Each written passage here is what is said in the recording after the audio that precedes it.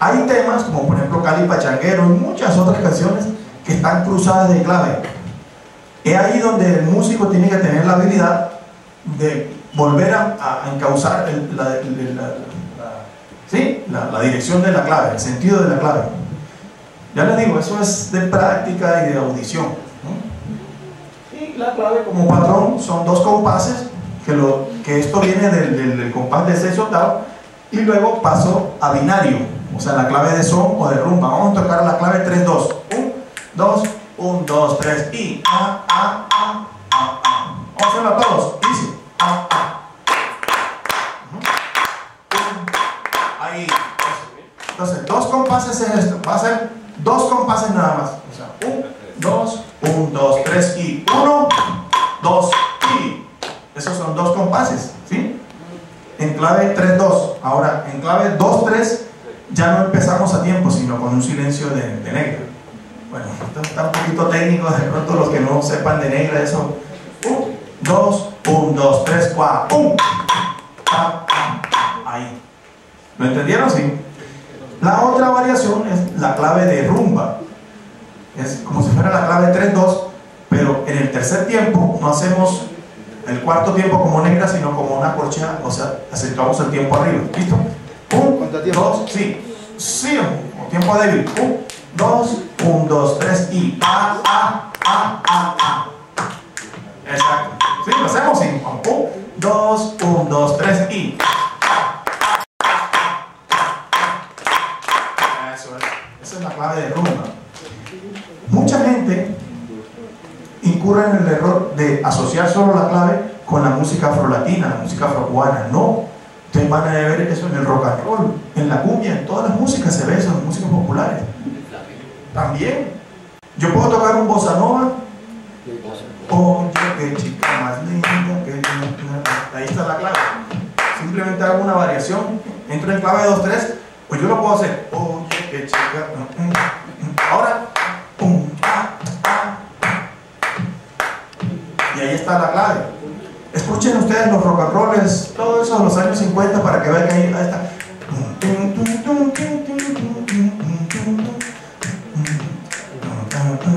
Ahí está. Una cosa es tocar el patrón de la clave y otra cosa es tocar con el sentido de la clave, ¿recuerdan? En Colombia no se puede hablar de un solo bambuco. Ese bambuco vi- proviene de ese bambuco viejo de, de la zona costera sur de Pacífica. Y luego aquí, por obvias razones, ustedes saben que aquí se establecieron más, o sea, predominan las cuerdas. Aquí tenemos a un rey del bambuco que la próxima semana va a hacer una exposición con su grupo. No tengo guitarra acá. Pero si ustedes analizan el patrón del bambuco en la guitarra y escuchan los tambores del curulao, van a encontrar que ahí está. El bombo, por ejemplo, va haciendo es lo que hace el bajo de la guitarra. Y el cununo, cuando va haciendo, guitarra, chacu, chacu, chacu, chacu, chacu, chacu. ¿Ven? También, eso, todo eso. Entonces, en esta música tiene esas denominaciones. Lo que acabamos de ver, bembé, eh, ¿cuál otro les dije? Abacuá o ñáñigo. Pero la gente le dice 6 por 8 o 6 octavos. Hagamos un patrón de 6 octavos. Vamos a hacer Afro Blue. ¿Ustedes han escuchado Afro Blue? De que tocó Mongo Santa María y eso.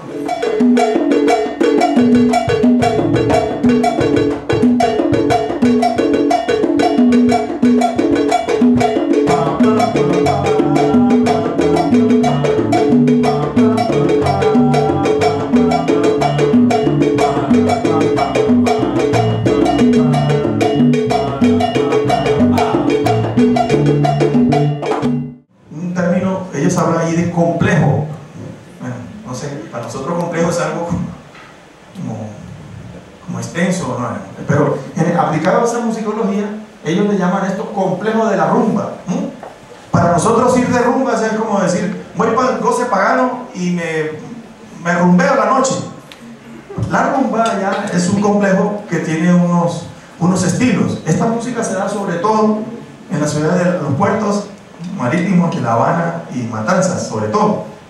Todo esto que estamos viendo es arraigo de la, de la africanía en el Nuevo Mundo, de todas estas culturas que les acabo de hablar. yoruba, bantúes, carabalíes, congos, ararás, etc. Ellos trajeron esa música, ¿de acuerdo? Muy bien. A partir, sobre todo, de la abolición de la esclavitud a finales del siglo XIX, es cuando esta música surge, sobre todo en unos sitios que ellos llaman allá los solares.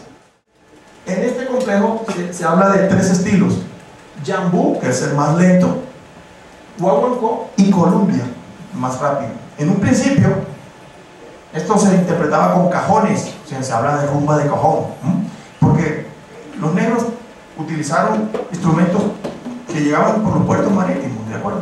Y la clave que acabamos de ver ahora. En esta música predominan los instrumentos de percusión, ritmo percusivo. Voces, o sea, canto responsorial o antifonal, como llaman, pregunta-respuesta. Claves, y esta es, un, esta es una práctica colectiva, ya lo vamos a ver. Entonces, vemos el video y lo aplicamos aquí en la práctica, ¿de acuerdo? tiene una connotación que el hombre trata de vacunar a la mujer. Ya vieron que era vacunarse. ¿Sí? O sea, con el pañuelo. Y la mujer se protege. Es algo ahí como simbólico, en fin. Pero eso tiene esa connotación. Y también los bailadores bailan con base, sobre todo en el repique del, quinto. Bueno, tumbadoras.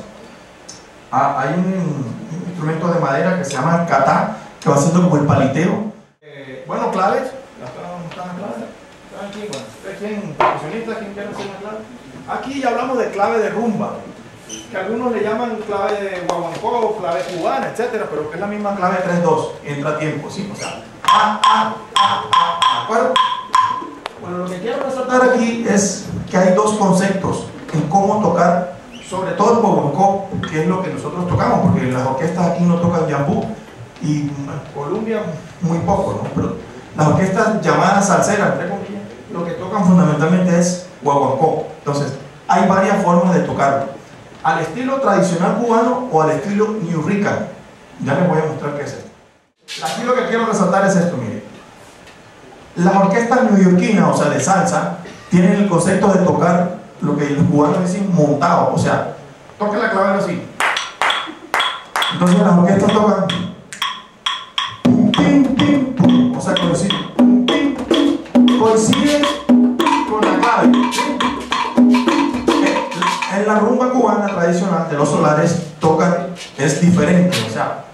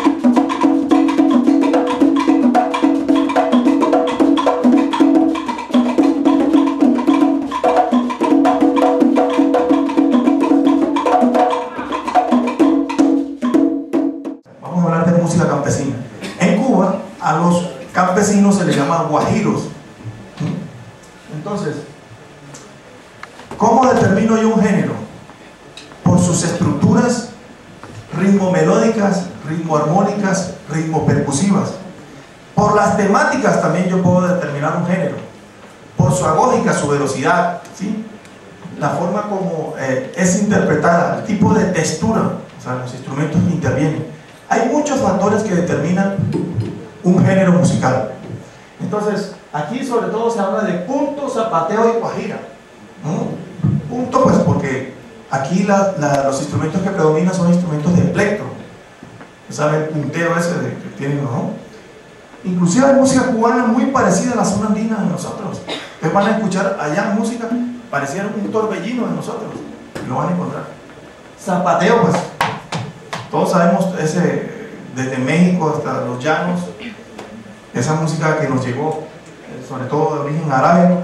Y la guajira. Entonces, la guajira son personas, por ejemplo, del campo, pero por extensión pasa a referirse a un género musical. Entonces, ¿yo cómo reconozco una guajira?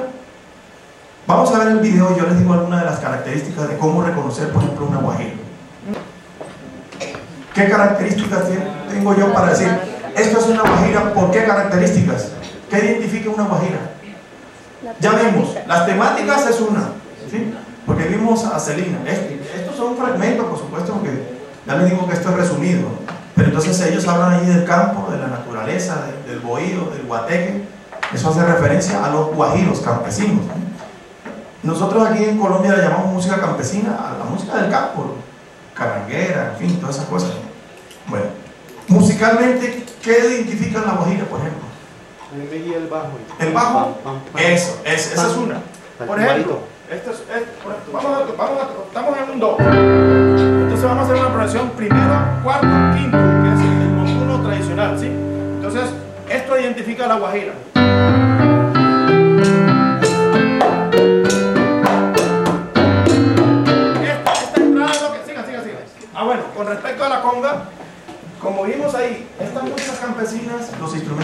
Utilizan son de cuerda, los cordófonos, ¿de acuerdo? Pero con el tiempo, ustedes saben que las músicas rurales son tomadas de las músicas urbanas y se transforman, ¿de acuerdo? Entonces ya los formatos de las orquestas bailables le introducen tumbadoras, que ya de los años 40, 50, con el, el montuno o el tumbado del son. Hay otra forma en el timbal de tocarla, puede ser cascareo, como si fuera, como si, como si fuera haciendo la maraca, ¿no? Esa es una. Otra es como si, como si estuviera haciendo cha-cha-cha.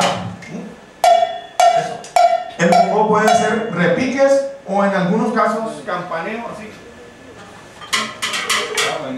Ah, vamos a hacer una. Un cha-cha, sí. Un, dos, tres